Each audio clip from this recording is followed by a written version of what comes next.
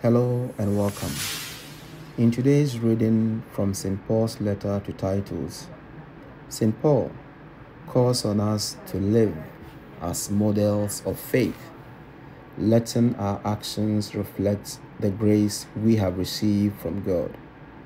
He emphasizes integrity, self control, and devotion, reminding us that our lives are a witness to our beliefs.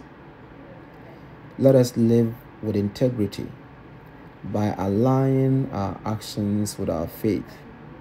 This means we choose kindness, honesty, and humility, even when no one is watching. When we live this way, we become reflections of Christ's love, inspiring others to seek God's grace. I urge you to be a model of integrity and holiness. Have a wonderful day.